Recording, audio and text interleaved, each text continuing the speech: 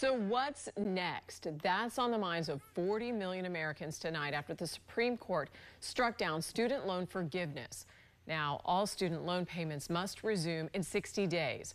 President Biden said his administration is going to pursue another path for relief. News Channel 8's Lenny Supal joins us in the studio with reaction to the decision.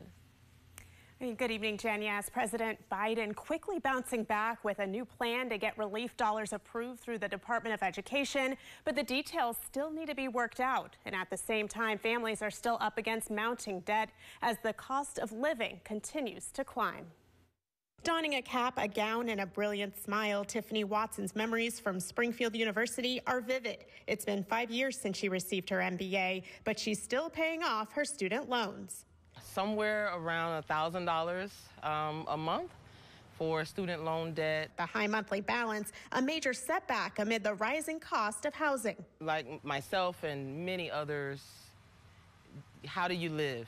How do you um, focus, you know, on anything else but trying to handle that debt. Tiffany disappointed after the Supreme Court's decision striking down President Biden's $400 billion federal student loan forgiveness plan, a potential $20,000 relief to more than 400 million Americans living with federal student loan debt.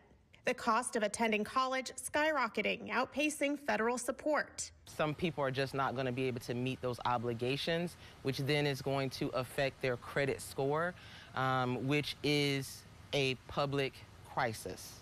Republicans in general need to come up with another version of how to forgive student loans. Jake Hoffman is the executive director of Tampa Bay Young Republicans. Biden's plan would have completely cleared his student loan debt, but he still supports the Supreme Court's decision. It's not really fair that people like me who have grad school loans are going to be subsidized versus people who chose not to go to college.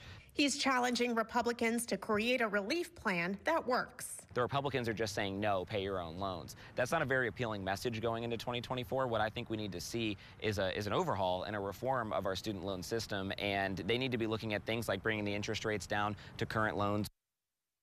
Meanwhile, even though the pause on repaying federal student loans ends this fall, there's still a bit of a grace period. Those who do not make payments won't be reported to credit or collection agencies over the next year, but the interest will still accrue.